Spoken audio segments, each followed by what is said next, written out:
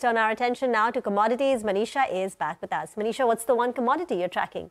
Well, I'm looking at metals as a sector because, you know, we've seen a strong uh, last three or four weeks where we've seen gains come in for many of these metal prices. But the last one week has finally seen some profit taking coming in. We are looking at markets uh, where you have the US dollar, which is strengthened. We've seen rupee decline quite a bit today. And that is the case with the Asian currencies as well. And that has led to some decline coming into those markets. If you look at the gold prices, yesterday was an all-time high at 2,150. But if you look at the prices currently, we are trading at $2,050 an ounce, which is 100 $100 of a profit taking that we've seen in last 24 hours as well. So the speed at which the gold went up also has uh, come down in the same way. There were some stop losses that were triggered and is the reason we saw the prices gain up so much. But uh, the, the wealth funds and ETF buying in gold has pretty much continued. That is the case with silver as well. We saw the prices run up quite strongly, but we're trading off seven-month highs on this one too. Overnight decline for silver has been to the tune of 3.5%.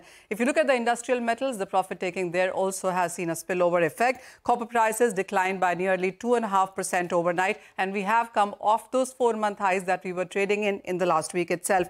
It has been a decline in the zinc prices, which are now trading at a one-month lows. Remember, zinc inventories have surged quite strongly. They are at a two-year highs right now. And the International Lead and Zinc Study Group says that with the kind of surplus that they were working in the previous year, which was at around 156,000 tons, this year is estimated more than double of that at 489,000 tons. So zinc is going to find it very difficult to gain from here on, and the markets are looking at pressure therein. If you look at the prices itself in uh, the last one week, we have seen profit taking come across board. The only one that is trading uh, in the positive is copper, up 1% in last one week. Apart from that, everything else has seen a decline come in. Zinc, as we've been talking about, is down almost 4% in last one week itself. And the other metals which have seen sharp decline in the last week have been lead and iron ore down between 3 to 4% onto these as well. What the street is watching out now is the China trade data that comes in on Thursday and you have the US non-farm payroll data that comes in on Friday. So those couple of days are going to be quite important.